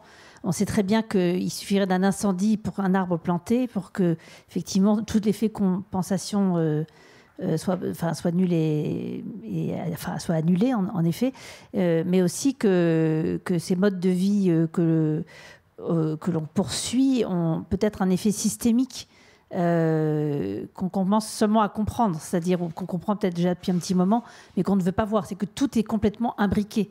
Euh, et il y a une question que je poserai peut-être tout à l'heure, mais on va prendre des questions ensuite euh, de la salle après vous. Euh, c'est celle notamment de la différence entre les pays riches et les pays en voie de développement, dont on sait très bien, et ça a été discuté à la COP26, sans qu'il y ait une véritable décision qui ait pu être prise, notamment en raison de la France, si je ne me trompe pas, de, compenser. Qu'est-ce qu'on fait par rapport, effectivement, au fait que ce sont les émissions, enfin, ce sont les, le mode de vie des pays les plus riches, États-Unis, Europe, Chine, qui ont des effets délétères et déjà depuis des années sur un certain nombre d'autres pays. Quid de la compensation? Mais je vous passe la parole peut-être pour réagir aussi euh, à cette question de sobriété ou ce que vous voulez avant qu'on prenne euh, vos questions. Je ne sais pas si on peut prendre des questions d'ailleurs des internautes ou pas, s'il n'y a pas de possibilité. je suis désolée pour ceux qui nous écoutent à distance. Oui, alors pour répondre à votre question sur comment, euh, comment aller vers la sobriété, euh, la première chose à laquelle on pense en, général, euh, ce sont les, des décisions individuelles, par exemple de, changer son régime alimentaire ou ses, modes de déplacement, qui sont bien sûr des, choses qui vont dans le bon sens, mais pas du tout, qui ne sont pas du tout à la, mesure de, l'enjeu. C'est insuffisant. Et en fait, quand on commence à faire la liste de ce qu'on pourrait changer, au, bout d'un moment, on, se rend compte qu'on est pris dans un système, dans une société, et que c'est un ensemble de, choses de l'organisation sociale qu'il faut changer. et que, ça ne peut pas être fait au niveau individuel. donc après, ça dépend des secteurs, sur qu'est-ce qu'il faut changer. J'ai parlé tout à l'heure de, l'urbanisme, de euh, l'organisation de la société, de, la ville ou du, territoire d'une manière générale, de manière à ce qu'on ait accès à des services sans être obligé de, multiplier les kilomètres. Euh, il y a tout ce qui est restauration collective. Hein. Euh, on, peut, choisir ce qu'on mange chez soi. Encore faut-il pouvoir choisir ce qu'on mange dans tout ce qui est restauration collective, qu'elle soit scolaire, en entreprise, etc. Ce qui représente une énorme partie des, repas qui sont pris. On pourrait multiplier les exemples, euh, mais pour laisser du temps au débat, je, viendrai sur un, autre, point qui est en lien avec ça, c'est la question du temps de travail et la question de euh, l'affectation que la société décide de faire euh, du progrès technique au cours du temps. Est-ce qu'on utilise ces progrès techniques pour euh, consommer plus ou bien pour réduire le temps de travail? Évidemment, on peut faire un peu des deux. Mais si on regarde, si on compare les États-Unis à certains pays européens depuis, en gros, le, le, milieu des années 70 ou début des années 80, on a une divergence avec une certaine réduction du temps de travail dans des pays comme l'Allemagne ou la France, mais pas du tout aux États-Unis, où euh, là, le, choix, euh, pas conscient, mais de, fait, a été d'affecter ces gains de productivité à une augmentation de la consommation. Et ça, c'est mauvais pour le climat. J'ai tendance à, penser que c'est mauvais pour la cohésion de la société euh, aussi, pour, pour le bien-être d'une manière générale. Et ça, c'est un, combat important. Euh, vous vous souvenez peut-être que la Convention citoyenne pour le climat euh, avait. Alors, le groupe euh, qui, réfléchissait au, travail et à la consommation au, sein de, la Convention climat avait, poussé, avait proposé une mesure de réduction du temps de travail qui n'avait pas été acceptée par l'ensemble de la, Convention. Bon, faut dire, avec le Covid, Bon, ils avaient peur que ce soit mal perçu et c'est vrai que c'est un moment un peu compliqué pour ça. N'empêche que je, suis persuadé qu'ils avaient raison. Alors je précise que là, c'est vraiment un, point personnel et je ne suis pas en train de faire une synthèse de, la littérature scientifique sur le sujet. Mais pour moi, sur le long terme, c'est quand même quelque chose d'essentiel. Qu'est-ce qu'on fait de, euh, de ce progrès technique? Plus de consommation ou moins de temps de travail. Alors sur, ça peut être sur toute la durée de vie. Hein. Aujourd'hui, vous avez la CGT qui défend les 32 heures, la CFDT qui défend une réduction du temps de travail sur euh, toute la durée de vie avec une sorte de compte épargne-temps qui serait, euh, qui serait généralisé. Euh, je mentionne ces syndicats parce que ça, c'est un combat sur lequel il peut y avoir une convergence entre des forces sociales, euh, syndicales et, et, des forces écologistes, ce qui n'est pas le cas, je pense, de, d'autres mesures comme, comme des, mesures de, rationnement. Merci beaucoup. On va prendre vos questions. J'ai un micro qui circule dans la salle. Monsieur, ici, oui.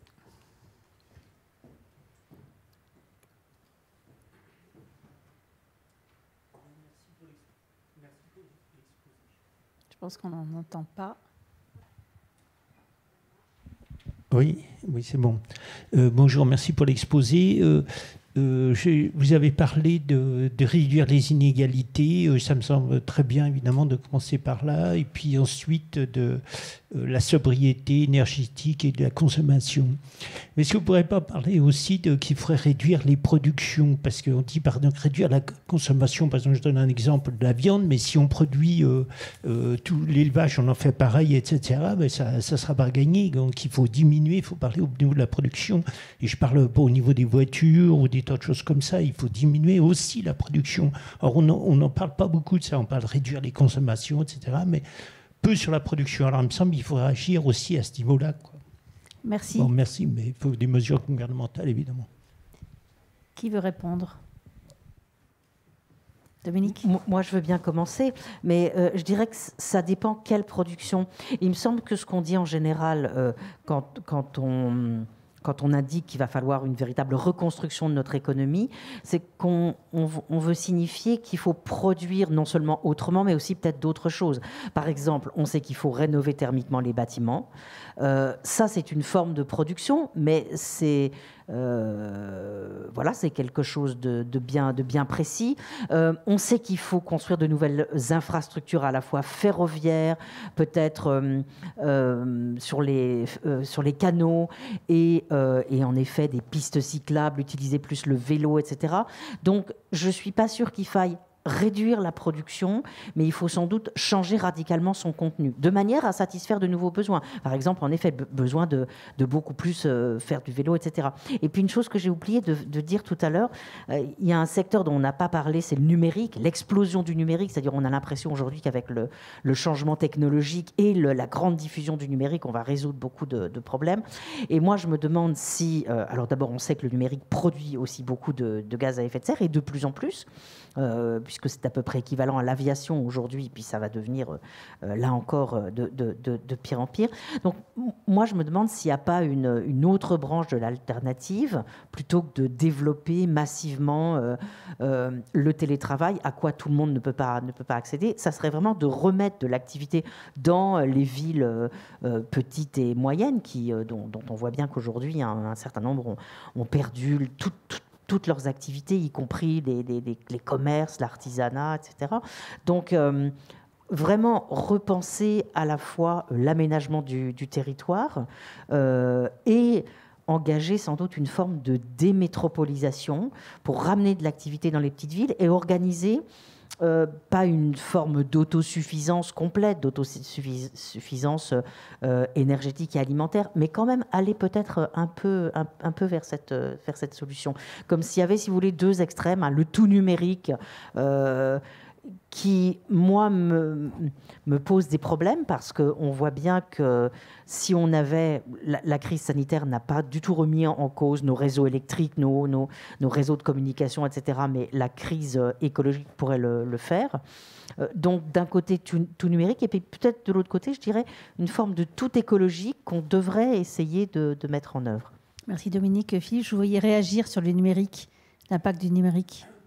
Non, enfin, je, suis d'accord sur l'importance de, réduire le, numérique, en, en, particulier si on pense aux crypto-monnaies, dont on voit pas bien à quoi elles sont vraiment utiles à part à la délinquance, mais euh, c'est juste sur le, le fait ce que, c'est qu'une crypto-monnaie. Enfin, le Bitcoin, par exemple. Euh, donc, en fait, la, production demande beaucoup de consommation d'électricité, donc derrière euh, des émissions de gaz à effet de serre. Euh, ceci étant dit, non, c'est sur l'égalisation avec l'aviation, là, dessus je suis pas d'accord.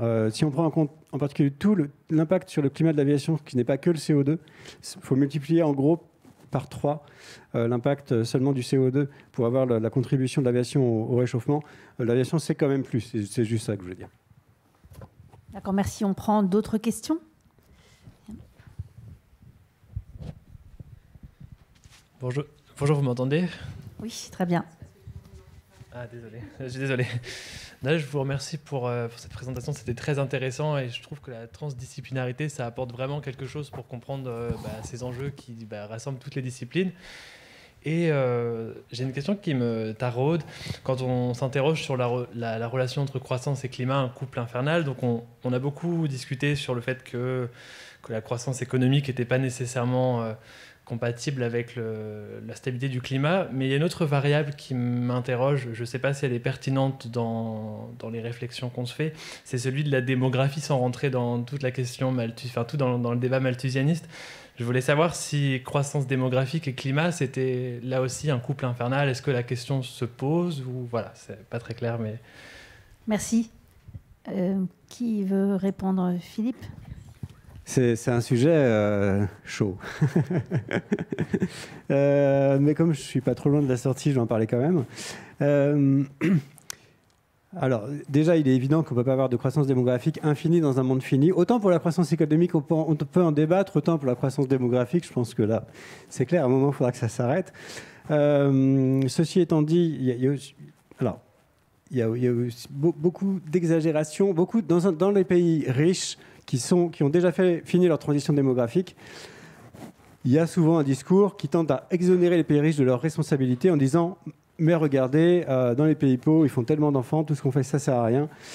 Et ça, euh, bah, déjà, c'est injuste, parce que quand on regarde les émissions par habitant de l'Inde ou de euh, quasiment tous les pays africains, c'est tellement en dessous des pays européens que euh, ce serait quand même, quand même honteux de, les accuser eux.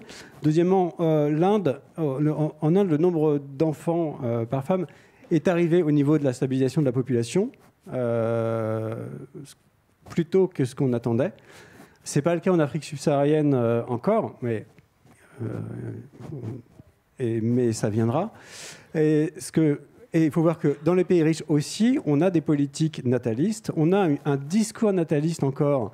J'entendais sur une, radio de service public euh, un, débat entre euh, journalistes et politiques qui s'écharpaient, qui n'étaient pas d'accord sur la question de savoir si euh, il fallait encore plus de politiques natalistes en France ou pas, alors que c'est quand même fou, quoi.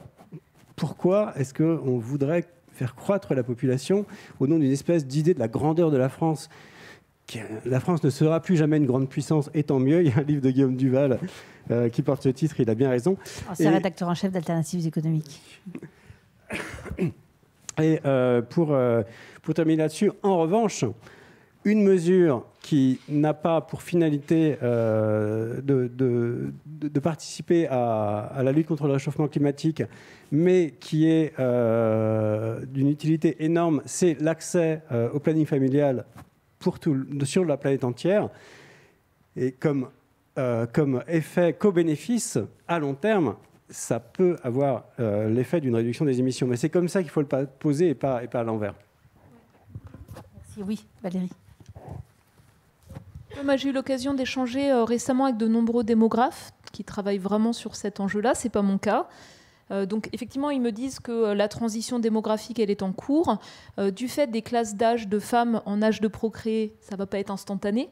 eux, ils pensent qu'on va vers une stabilisation de la population mondiale, enfin en gros dans la deuxième moitié de ce siècle, sachant que la transition, elle est déjà faite dans beaucoup de régions du monde. Là où elle ne se fait pas, c'est là où en fait on a des systèmes de gouvernement complètement effondrés, une absence d'accès au système de santé, aux soins, au planning familial. Euh, et donc, il y a des enjeux aussi de coopération, de solidarité euh, par rapport à, ceux qui vivent dans les conditions en fait les plus euh, démunies, je pense, hein, qui existent. ensuite, à titre personnel, donc je souligne les enjeux qui sont extrêmement importants par rapport au climat d'éducation. Donc, comprendre les enjeux liés au changement climatique. L'éducation, c'est aussi un levier d'émancipation et tout particulièrement d'émancipation des femmes. Euh, donc pas uniquement des femmes, c'est pas à elles seules d'avoir la responsabilité euh, euh, d'avoir ou non des enfants, mais elles jouent un rôle clé. Et donc des politiques publiques, en particulier d'aide au développement, qui mettent l'accent sur l'émancipation des femmes et l'action pour le climat, commencent à émerger. C'est pas le cas dans tous les pays, mais je sais que c'est le cas de certains angles choisis par l'Agence française de développement. Et moi personnellement, je m'en réjouis. Et je pense que peut-être je voulais rebondir sur un point important c'est quand on prend euh, la population mondiale la plus pauvre aujourd'hui dans le monde, souvent dans des endroits où justement euh, il y a un manque criant d'accès aux soins, d'accès à des infrastructures de base pour l'eau, pour l'énergie, euh, donner un accès à une énergie propre, moderne, à cette, c'est plus de la moitié, c'est pas loin de la moitié de la population mondiale, hein, je crois c'est 2 à 3 milliards de personnes, ça aurait quasiment aucun effet sur les émissions mondiales de gaz à effet de serre parce que ce qui pèse le plus, c'est ceux qui ont les revenus les plus élevés, les consommations les plus élevées par habitant. Et je pense que ça, c'est aussi quelque chose qui n'est pas suffisamment dit euh, par rapport à, la situation euh, globale. Et puis la dernière chose, c'est, euh, je voulais rebondir sur ce que vous aviez mentionné. moi, j'ai été frappée par les tensions au moment de la COP 26. Donc d'une part, les pays développés qui réduisent peu en fait leur rejet de gaz à effet de serre alors qu'ils ont des capacités à agir importantes. Euh, surtout quand les émissions par habitant sont très élevées, je pense par exemple à l'Australie, euh, qui mettent pas sur la table les montants qui avaient été promis il y a plus de 10 ans euh, pour l'aide aux pays en développement. Des pays émergents qui sont un peu coincés entre deux feux, c'est comme ça que je le vois. C'est-à-dire, d'une part, ils voient bien qu'il y a des pressions croissantes pour qu'ils réduisent aussi, eux, rapidement leurs émissions de gaz à effet de serre, même si leur responsabilité historique, par exemple pour l'Inde, est très limitée sur le cumul à ce jour et puis en même temps qui sont eux-mêmes très vulnérables, avec une population qui est largement exposée et vulnérable, euh, pauvre, par rapport aux conséquences d'un climat qui change. Donc c'est quelque chose qui est, euh, qui est plein de tensions finalement, même en interne, euh, et qui demande pour ces pays à vraiment concevoir une forme de développement qui ne sera pas passée par les centrales à charbon, puis le gaz, et puis peut-être après des énergies décarbonées. et c'est quelque chose qui est délicat parce que souvent les élites de ces pays ont été formées dans les écoles de management américaines. Et donc il n'y a pas forcément cette image de comment ce qu'on veut construire, comment le construire et comment le faire autrement.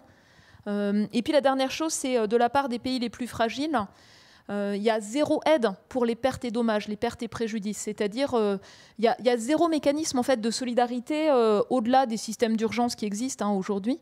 et il y a juste des, vagues promesses d'aide technique. Et ça, je pense qu'en termes de, perception des, inégalités, des enjeux de justice liés au climat, ça va être un facteur majeur de tension croissant. voilà. Et ça, il y a zéro avancée au moment de la COP26 sur ce, ce volet-là, même s'il y a eu des avancées sur les points qui étaient attendus. Merci beaucoup de l'avoir précisé, euh, Valérie. Euh, pour ce débat passionnant, est-ce qu'on a le droit de dépasser de 5 minutes? Oui? 5 Combien exactement? Je sais qu'il y a peut-être des personnes qui vont devoir partir, mais... Non, mais profitons de nos intervenants. Donc, s'il y a d'autres questions... est-ce que vous avez d'autres... Ça vous va euh, Vous n'avez pas un train à prendre Est-ce qu'il y a d'autres questions? Oui, monsieur Merci. Bonsoir. Euh, souvent, le lien est fait entre croissance et, emploi, hein, puisqu'il y a pas mal d'économistes qui disent qu'il euh, bah, y a un lien direct entre le PIB, le calcul du PIB et, le taux d'activité. Je voulais savoir bah, comment déconstruire ce, discours ou cette idée qui est peut-être reçue ambiante, parce que quand on touche à l'emploi, on touche à un point assez sensible. Merci. Qui veut répondre, euh, Philippe? Euh, Ouais, effectivement, j'ai travaillé là-dessus. Euh, alors, c'est vrai que si on, regarde année par année, bah, les années où, le, en général, quand le, PIB stagne ou diminue, il y a un certain parallélisme avec l'emploi. Ceci étant dit, le contenu en emploi du, PIB, il, dépend, il est aussi variable. Euh, on peut avoir pour le même euh, niveau de PIB des niveaux d'emploi différents selon que la dépense va s'orienter vers des activités qui sont plus ou moins intensives en emploi. Par exemple, si on dépense 1 million d'euros euh, en France dans l'achat de, produits pétroliers, on va créer à peu près un emploi en équivalent temps plein dans les stations-service euh, ou dans les raffineries, par exemple. Un emploi. Alors, en moyenne, on est plutôt, pour la moyenne de la consommation des ménages, on est plutôt autour de 10 emplois. Si on dépense ce million d'euros pour faire de la rénovation thermique des bâtiments, de manière à ce qu'ils consomment moins d'énergie et donc qu'on émette moins de gaz à effet de serre, c'est plutôt 15 emplois. vous voyez, de 1 à 15, si la même dépense, on la fait passer euh, de l'achat de produits pétroliers à, euh, à des dépenses dans euh, l'isolation thermique du, bâtiment. Merci beaucoup. On prend peut-être une dernière question, s'il y en a une. Il n'y en a pas. Vous êtes sûr? Pas de frustration? À ce moment-là, je vous repasse la parole peut-être pour avoir un propos conclusif. On ne va pas conclure sur un, un thème aussi vaste, mais peut-être Dominique en premier bah, J'ai envie de redire euh, ce qu'on ce qu'on est plusieurs à, enfin ce qu'on a dit tous les trois, hein. c'est-à-dire que il faut aller vite maintenant. Il faut donc prendre des mesures, euh, me semble-t-il, assez radicales. On ne peut pas, euh, on, ne peut pas faire confiance exclusivement aux, décisions individuelles. ça, ne suffit pas. On est coincé aussi. Et donc, il faut quand même qu'on ait des politiques euh, qui soient différentes des, et, des, et, des, je dirais presque un cadre cognitif différent. Peut-être même se, représenter les choses d'une autre manière. Hein. J'aime bien quand euh, Aldo Leopold, qui écrit en, il écrit juste après la Seconde Guerre mondiale, hein, un écologue important, qui dit qu'il faut passer d'un rapport de conquête et d'exploitation avec le monde à un rapport de respect, euh, même voire d'amour, hein, et une nouvelle, euh, représentation finalement des, rapports entre humain et nature. Réencastrer, comme dit Philippe Descola, réencastrer l'humain dans la nature et donc accepter euh, ce qu'avaient peut-être compris en effet les philosophes grecs, etc., c'est-à-dire hein, qu'on ne peut pas tout faire, que non, on n'est pas là pour euh, pour, pour, détruire la nature, parce qu'il y a eu au 19e siècle un rêve de, de mettre la de, je dirais, de détruire la nature pour mettre de l'humain à la place, de, de faire le, le, monde à notre image en quelque sorte. Donc je pense qu'il faut aussi qu'on revoie nos, nos, philosophies et qu'on mette en place des politiques qui nous permettent de bifurquer assez, assez mmh. rapidement. Oui, tout à fait. On s'est construit en opposition à la nature pendant de longues décennies. Merci beaucoup Dominique. Euh, Valérie? Alors j'espère que euh, euh, je vous ai donné envie d'en savoir plus sur l'évolution du climat. Ce que je mentionnais, le, rapport du GIEC, il est disponible sur le site ipcc.ch. le rapport, il est entièrement en anglais. Il va être bientôt traduit d'ici au début de l'année prochaine pour les résumer, les points clés en français. On a aussi un atlas interactif qui permet de finalement vous-même manipuler les, données liées à l'évolution du climat dans chaque région, quels seront les, multiples aspects d'un climat qui change en fonction du niveau de réchauffement planétaire ou de l'horizon temporel ou de ce qu'on va faire en termes d'émissions de gaz à effet de serre. On fait vraiment le pari de, la science ouverte, des données ouvertes, euh, de l'intelligence collective aussi. Je pense que euh, c'est quelque chose pour moi qui est très frappant de voir euh, l'attention croissante dans l'ensemble de la société sur ces sujets, la volonté d'en savoir plus, la volonté d'agir, d'avoir des clés pour, euh, euh, pouvoir agir à tous les échelons dans sa vie personnelle, dans sa vie professionnelle. Et chaque année, un Français y met dans l'atmosphère, sans le savoir, à peu près 10 tonnes de CO2 équivalent hein, par personne et par an. on ne le voit pas. Et moi, je pense qu'il y a un vrai enjeu sur l'ensemble des, décisions économiques, sur l'information qui est donnée aux consommateurs, pour pouvoir euh, mieux euh, le voir, euh, pour avoir une information sincère sur les produits, sur les biens, sur les services, sur les placements, de sorte à pouvoir exercer aussi son libre arbitre. Quand l'information est là, les gens ont envie d'agir et peuvent agir en étant informés. Ce n'est pas le cas aujourd'hui. Et c'est vraiment quelque chose pour lequel je pense qu'il y a une possibilité de changer rapidement d'échelle. Je vous donne juste un exemple. Quand vous achetez par exemple un appareil électroménager, on vous dit s'il consomme euh, de manière plus ou moins performante avec une étiquette euh, ABCDEF. On ne vous dit pas dans quelles conditions il a été produit. Et rien que cette information-là, en fait, elle ne vous permet pas euh, d'agir en étant éclairé. Quand c'est fait avec du charbon, et eh ben forcément l'empreinte est plus importante. Et je pense que ne serait-ce que d'avoir cette information-là permettrait d'aller beaucoup plus vite pour pouvoir exercer nos choix individuels de manière éclairée. Merci beaucoup. Philippe, le mot de la fin Les solutions techniques, on les a. Si vous allez sur le site de l'association de Négawatt, sur le site de l'ADEME, euh, puisque je rappelle que demain matin, ils présentent leur, euh, scénario, sur le site de RTE, le réseau de transport de l'électricité, où vous avez leur étude Futur énergétique 2050, vous allez voir que les solutions techniques, on les a. Les politiques publiques qu'il faudrait mettre en place ou qu'on pourrait mettre en place pour atteindre ces solutions, il n'y en a pas une seule politique publique, il y a un ensemble, on les connaît aussi. Ce qui manque, c'est la volonté politique. Et cette volonté politique, elle ne va pas venir toute seule, elle va venir de la mobilisation des citoyens, par leur vote, par leur adhésion à des associations, par leur mobilisation euh, diverses et variées. Et ça, c'est indispensable. Il ne se passera rien sans ça. Euh, parce qu'il faut voir qu'en face, on a des groupes de pression, euh, des intérêts industriels, on a des, des gens très puissants avec un programme politique caché derrière. L'homme qui a peut-être fait le plus de mal au climat, vous avez peut-être pensé à Trump, mais non, c'est pas lui, c'est Rupert Murdoch, le manier de la presse australien, qui possède Fox News, qui possède le Times, qui possède énormément de médias dans les pays anglo-saxons, et qui a eu depuis des décennies un agenda politique de euh, donner la parole à des négateurs du changement climatique, et des Murdoch, il y en a d'autres, il y en a plein d'autres, y compris en France. On a des, on a des, milliardaires avec un agenda politique, il y en a, euh, suivez mon regard. Merci beaucoup d'avoir évoqué l'indépendance des médias. Je pense que c'était un point clé. On n'a pas le temps d'en parler tout de suite. mais Mille merci à nos trois intervenants, à Caroline Reynaud donc, euh, et à la BPI. Merci beaucoup à Éloi Laurent. Merci pour toutes ces clés qui ont été données, qui nous font peut-être un petit peu avancer euh, vers la sobriété au service du bonheur, cher Aristote.